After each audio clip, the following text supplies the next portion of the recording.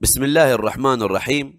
في هذا اللقاء بإذن الله سوف نتحدث حول موضوع مضروب العدد. The factorial.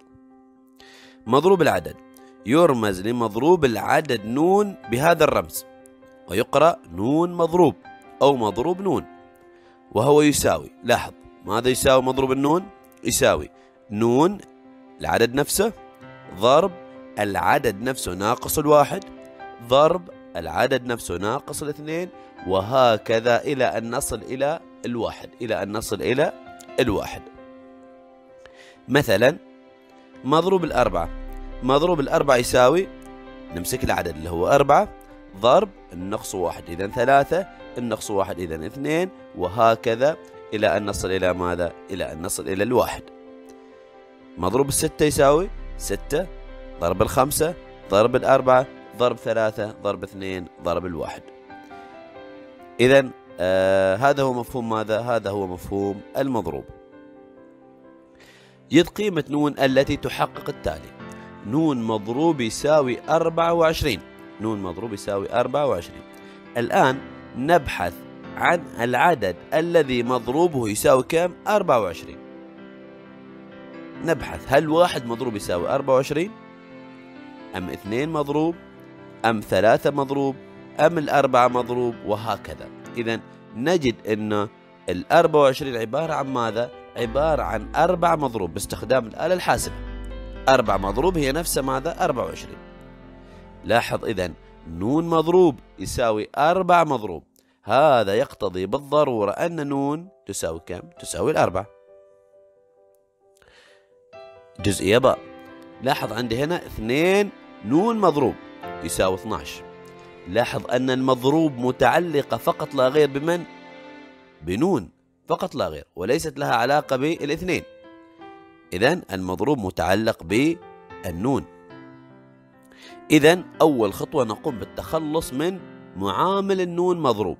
نخلي هذا الطرف الطرف الأيمن للمضروب فقط لا غير. إذا نقسم تقسيم اثنين. إذا نقسم تقسيم اثنين راح يكون عندي كم؟ 12 تقسيم من اثنين فيها كم؟ فيها ستة.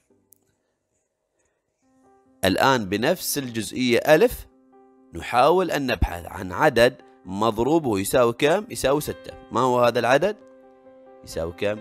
ثلاثة مضروب إذا مضروب الثلاثة يساوي ستة هذا يقتضي أن النون تساوي الثلاثة الجزئية جيم لاحظ بالنسبة للجزئية جيم نلاحظ أن المضروب متعلق بمن؟ بالعدد ثلاثة نون ثلاثة نون الكل مضروب يساوي كم؟ يساوي 720 هنا لا نستطيع نحن نقول أن نقسم تقسيم ثلاثة لا نستطيع ليش؟ لأن المضروب مثل ما قلت وذكرت المضروب متعلق بثلاثة نون معا ثلاثة نون معا الآن بهذا الشكل نبحث عن عدد آه، مضروبه يساوي كم؟ 720 لاحظ ثلاثة نون مضروب يساوي ماذا؟ يساوي ستة مضروب مضروب الستة يساوي 720 باستخدام الآلة الحاسبة. إذا نجد في هذه الحالة لاحظ أن الطرف الأيمن آه، متعلق بالمضروب وهكذا أيضا بالنسبة للطرف الأيسر مضروب من؟ مضروب الستة. هذا يعني أن الثلاثة نون تساوي ستة. إذا النون تساوي ماذا بقسمة الطرفين؟ تقسيم ثلاثة يساوي كم؟ يساوي اثنين. ننتبه لهذه العملية هنا بالنسبة للجزئية. باء والجزئية جيم. الجزئية باء بدأناها بالقسمة تقسيم اثنين. لماذا؟ لأن الاثنين ليس متعلق بالمضروب. بينما الجزئية جيم لم نبدأها بهذا الشكل لأن المضروب متعلق بالثلاثة نون معا. دال. الآن لاحظ المضروب متعلق بالجزئية كامل ولا جزء منه؟ نعم بالمقدار كامل. باثنين نون ناقص ثلاثة الكل مضروب. إذا في هذه الحالة نحول الرقم 120 إلى مضروب إذا اثنين نون ناقص الثلاثة مضروب يساوي ماذا؟ يساوي خمسة مضروب يساوي خمسة مضروب هذا يقتضي أن اثنين نون ناقص ثلاثة يساوي كم؟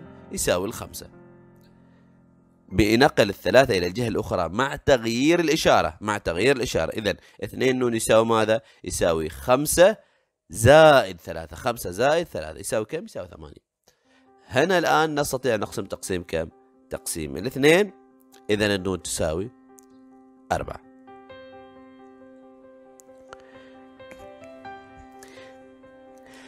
المثال اثنين. جد قيمة نون التي تحقق. نون زائد اثنين مضروب على نون مضروب يساوي ثلاثين.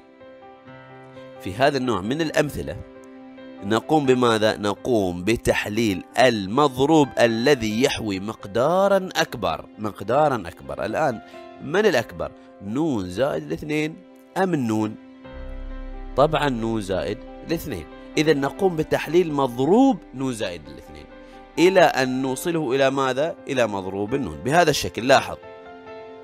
الحل. نون زائد اثنين مضروب عبارة عن ماذا؟ عبارة عن نون زائد اثنين. أيوة. كل مرة ننقص الواحد. نون زائد الواحد. أيوة. ثم بعد ذلك نون مضروب ونقف. لماذا؟ لأنه تحت عندي في المقام نون مضروب. يساوي ثلاثين. الآن لاحظ نون مضروب بتنحذف مع نون مضروب. في هذه الحالة راح يبقى عندي نون زائد اثنين آه، ضرب آه، نون زائد الواحد يساوي كم؟ يساوي الثلاثين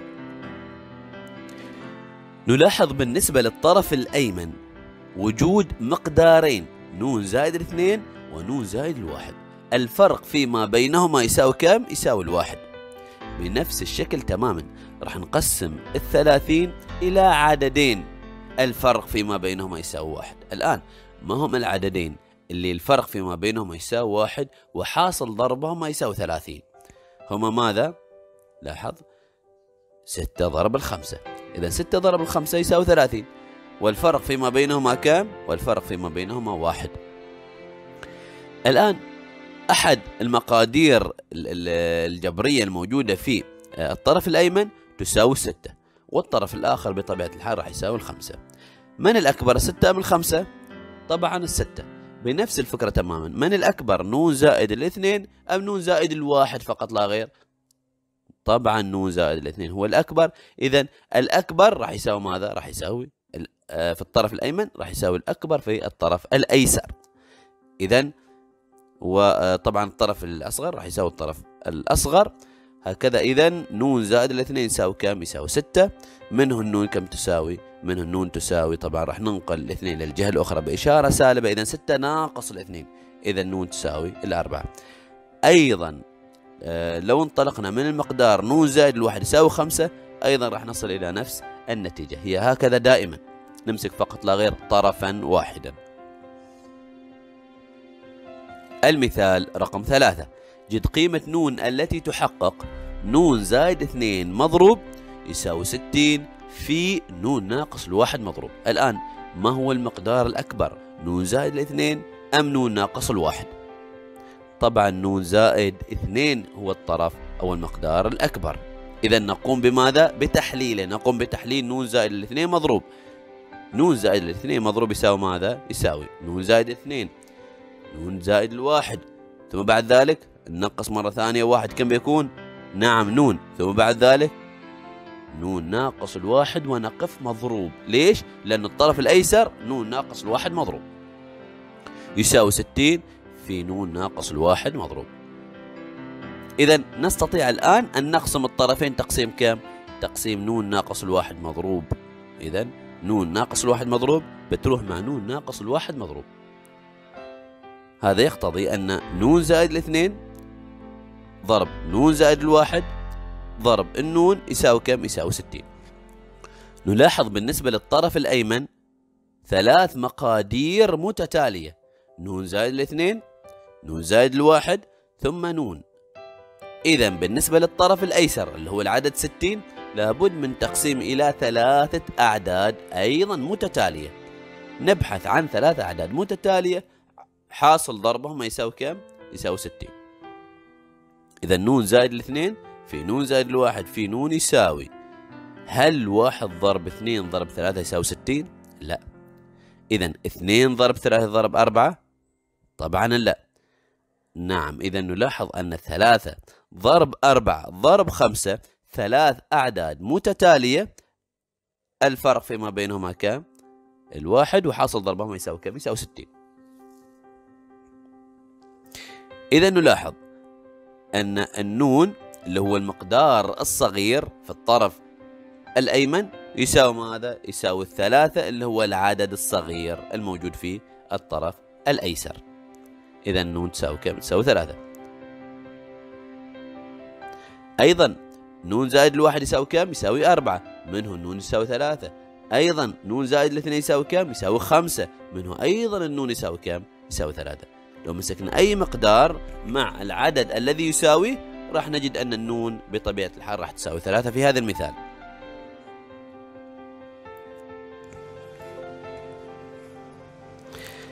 مثال رقم ثلاثة. جد قيمة نون التي تحقق. نون مضروب على اثنين نون ناقص اثنين مضروب. لاحظ أن المضروب متعلق فقط لا غير بنون ناقص اثنين ما له علاقة بالاثنين. يساوي اثنين نون مضروب. هنا أيضا المضروب متعلق بالنون كذلك وليس له علاقة بالاثنين. على أربع مضروب في نون ناقص الأربعة مضروب. بالنسبة للطرف آه الأيمن. بالنسبة للطرف الأيمن نلاحظ عندي في البسط نون مضروب. أما في المقام المضروب في لمن؟ لنون ناقص الاثنين إذا ما هو المقدار الأكبر؟ هل الأكبر نون أم نون ناقص الاثنين؟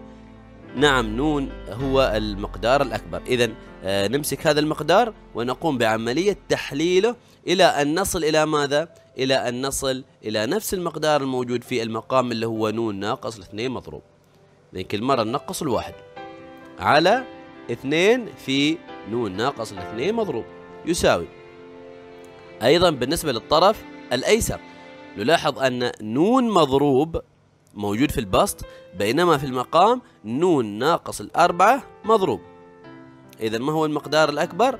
المقدار الأكبر هو ماذا؟ هو النون إذا النون نقوم بتحليله نون في نون ناقص الواحد في نون ناقص الاثنين متى نقف؟ عندما نصل إلى ماذا؟ إلى نون ناقص الأربعة ونضيف المضروب على أربعة مضروب في نون ناقص الأربعة مضروب. نلاحظ هنا نون ناقص الاثنين مضروب بتروح مع نون ناقص الاثنين مضروب وهذا الهدف من التحليل. أيضا بالنسبة للطرف الأيسر نون ناقص الأربعة مضروب بتروح مع نون ناقص الأربعة مضروب. اللي راح يتبقى عندي مع آه، ضرب المقص هو كالتالي. أربعة مضروب لاحظ من هنا جيت لأربعة مضروب آه، في ماذا؟ في نون في نون ناقص الواحد ماذا عن الطرف الأيسر اللي بقى في ماذا؟ بقى في اثنين نون في نون ناقص الواحد في نون ناقص الاثنين في نون ناقص الثلاثة مضروب في من؟ مضروب في الاثنين إذا اثنين في اثنين إذا كم؟ أربعة في نون في نون ناقص الواحد في نون ناقص الاثنين في نون ناقص الثلاثة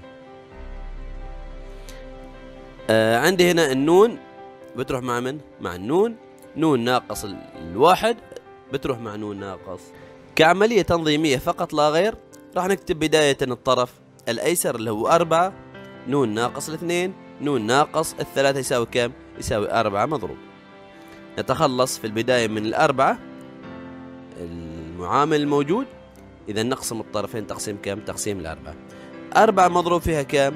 فيها أربعة ضرب ثلاثة ضرب اثنين ضرب الواحد إذا عبارة عن ماذا؟ عبارة عن أربعة وعشرين تقسيم الأربعة فيها كم؟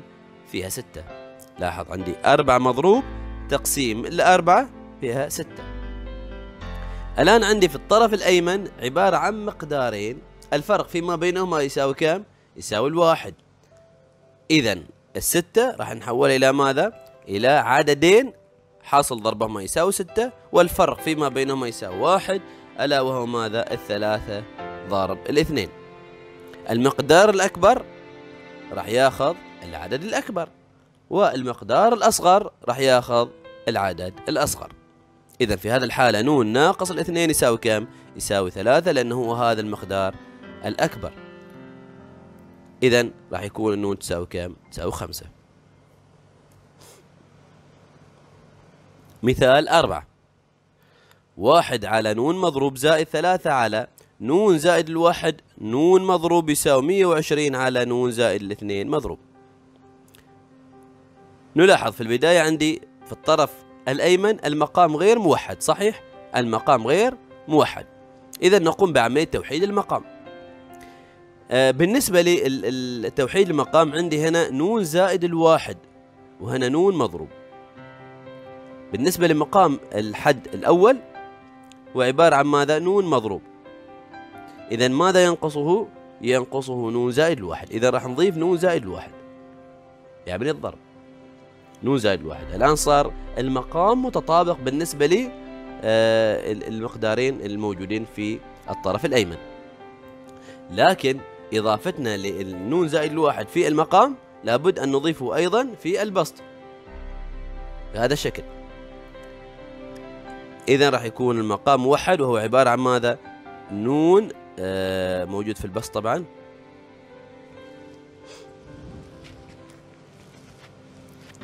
الآن صار المقام عندي موحد. عندي في البسط نون زائد الواحد ضرب واحد إذا نون زائد الواحد. زائد كم؟ زائد الثلاثة. أما بالنسبة للمقام نون زائد الواحد في نون مضروب يساوي 120 على نون زائد الاثنين مضروب. لاحظ أنه نون زائد الواحد زائد ثلاثة فيها كم؟ نون زائد الأربعة نون زائد الواحد زائد ثلاثة يعني نون زائد الأربعة الآن نقوم بتحليل المضروب الأكبر ما هو أكبر مضروب موجود عندي؟ هو ماذا؟ هو طبعا أنا عندي فقط لغير مضروبين عندي نون مضروب ونون زائد الاثنين مضروب إذا هو هذا المقدار الأكبر نون زائد الاثنين مضروب إذا نقوم بتحليله لما نحلل نون زائد الاثنين مضروب هو عبارة عن نون زائد الاثنين نون زائد الواحد نون مضروب ونقف. الآن نون زائد الواحد بتروح مع نون زائد الواحد ونون مضروب بتروح مع نون مضروب. كل اللي تبقى عندي نون زائد الأربعة على واحد طبعا آه، بقى في المقام واحد يساوي مية وعشرين على ماذا؟ على نون زائد الاثنين الآن نستخدم طريقة ضرب المقص. لما نضرب ضرب مقص بهذا الشكل إذا راح يكون عندي نون زائد الأربعة في نون زائد الاثنين يساوي كم؟ واحد ضرب مية وعشرين يعني مية وعشرين. نلاحظ في الطرف الأيمن يوجد عندي مقدارين حاصل ضرب مقدارين. الفرق فيما بينهما يساوي اثنين. هكذا أيضا راح نعمل بالنسبة للطرف الأيسر. راح نقسم ال 120 إلى عددين. حاصل ضرب عددين. الفرق فيما بينهما يساوي كم؟ يساوي اثنين. هما ماذا؟ العشرة وال 12 10 ضرب 12 فيها كم؟ فيها 120 والفرق فيما بينهما اثنين. هي عملية بحث نلاحظ أن العدد الأكبر هو ماذا؟ هو نون زائد الأربعة وهنا 12 إذا نون زائد الأربعة راح يساوي 12 هذا يقتضي أن نون تساوي كم؟ تساوي الثمانية. نون تساوي الثمانية. المثال الخامس. المطلوب إيجاد قيمة نون أيضا التي تحقق أربعة مضروب في نون ناقص سبعة مضروب على ستة يساوي أربعة في 18 ناقص 2 نون مضروب على نون ناقص 6 الحل. نلاحظ أن 4 مضروب على 6 فيها كم؟ فيها 4 لأنه 4 مضروب فيها 24 24 تقسيم الستة فيها 4 الأربعة الموجودة في الطرف الأيمن تروح مع الأربعة الموجودة في الطرف الأيسر. الحل. أولا نلاحظ أن أربعة مضروب والستة والأربعة هذه تروح مع بعض. ليش؟ لأن أنت عندك أربعة مضروب يساوي كم؟ يساوي أربعة وعشرين. أربعة وعشرين على ستة فيها كم؟ فيها أربعة. إذا أربعة من الطرف الأيمن تروح مع أربعة من الطرف الأيسر. إذا لم يتبقى عندي أي عدد. بالنسبة لي آه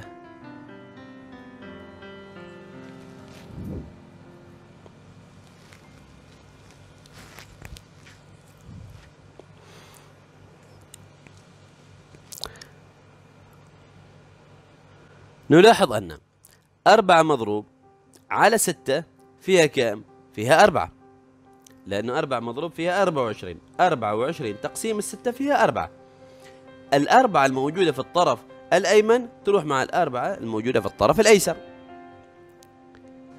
الآن بإمكاننا أن نقوم بعملية ماذا؟ ضرب المقص صحيح؟ ضرب المقص إذا نون ناقص ستة في نون ناقص سبعة مضروب يساوي كم؟ يساوي طبعا هنا عندي الواحد إذا 18 ناقص 2 نون مضروب نلاحظ أن بالنسبة للطرف الأيمن نون ناقص 6 في نون ناقص 7 مضروب هو عبارة عن ماذا؟ هو عبارة عن نون ناقص 6 مضروب نون ناقص 6 مضروب لأن هذا ناتج التحليل من نون ناقص 6 مضروب لاحظ نون ناقص 6 مضروب تساوي ماذا؟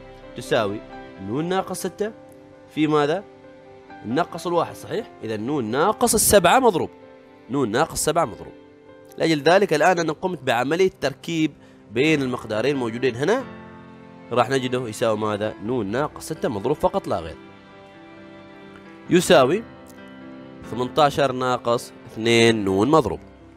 إذا نون ناقص 6 تساوي كم؟ تساوي 18 ناقص 2 نون. الآن بعملية جبرية.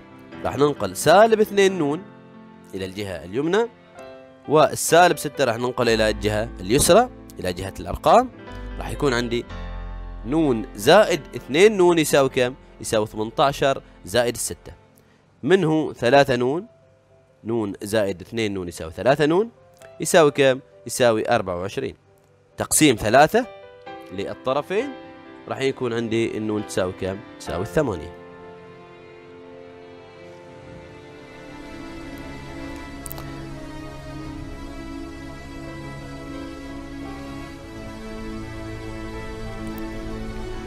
هذا كان كل ما لدينا لهذا اللقاء.